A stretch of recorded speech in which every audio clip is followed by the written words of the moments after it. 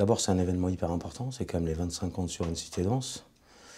Il y a quasi, euh, je pense qu'il n'y a aucun spectacle en France qui met à l'honneur le hip-hop depuis 25 ans. C'est 25 danseurs sur le plateau.